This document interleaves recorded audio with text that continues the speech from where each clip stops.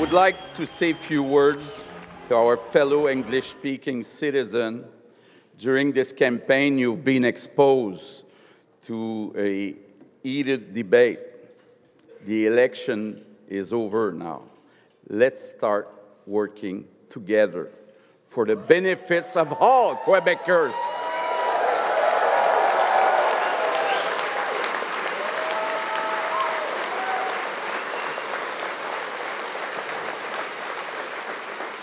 Let's work together to make Quebec stronger within Canada, and I want to assure you that my government will be your government. To my fellow English-speaking Quebecers, I want to say, you are like us, first-class Quebecers. Stay with us. Build our Quebec with all Quebecers.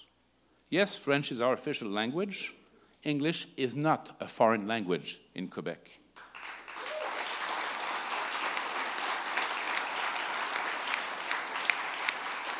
You have always been among us, part of us, part of our history.